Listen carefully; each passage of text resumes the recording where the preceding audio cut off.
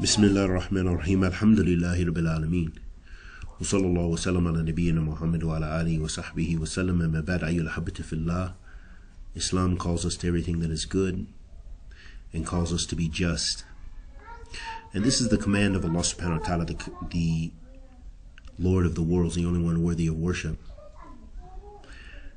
that we are not oppressive and we are not sinful and we are not unjust with others Allah commands us with justice. And Allah has the attribute of love towards those who are just. Allah subhanahu wa ta'ala loves those who are just, which affirms for us that Allah subhanahu wa ta'ala, He loves subhanahu wa ta'ala. Allah subhanahu wa ta'ala says في كتاب الكريم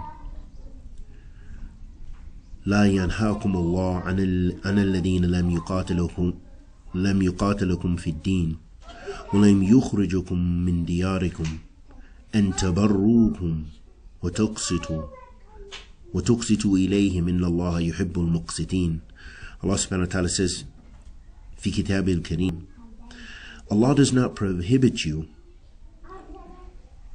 from being just and righteous or kind towards those who are not fighting you regarding your religion and those that are not forcing you out of your homes.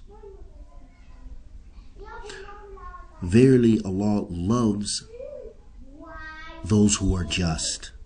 So Allah subhanahu wa ta'ala doesn't prohibit you from being kind and gentle, buying and selling and trading, and dealing honestly with other communities, non-Islamic communities, people who disbelieve in Allah and His Messenger sallallahu alaihi wasallam.